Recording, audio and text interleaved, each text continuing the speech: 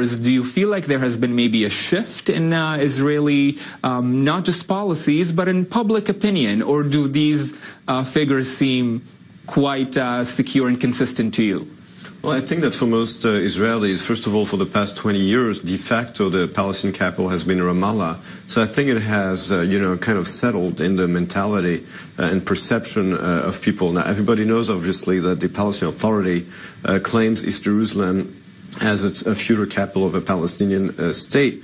Uh, but we also know that in the past 20 years there have been negotiations between Israel and the Palestinian Authority over Jerusalem. And Jerusalem obviously is one of the most sensitive issues uh, in the conflict between Israel and the Palestinians. Whenever the issue of Jerusalem was raised, whether it was Camp David in 2000 uh, or in 2008 and 2014, uh, Jerusalem was always a very, very sensitive uh, issues with conflicting, conflicting claims between Israelis and Palestinians, conflicting uh, narratives, and it's probably the most complicated issue in this conflict. But we forgot to mention that, you know, when President Trump announced that he was transferring the embassy in his uh, speech, he also said that he did not preclude the uh, final status of the city. He did not specify in which borders he recognized Israel's uh, capital, and he also said that the final status of the holy places will have to be negotiated. So it's not that he shut the door to future negotiations, and this is also something that has to be uh, reminded. And meanwhile, Dr.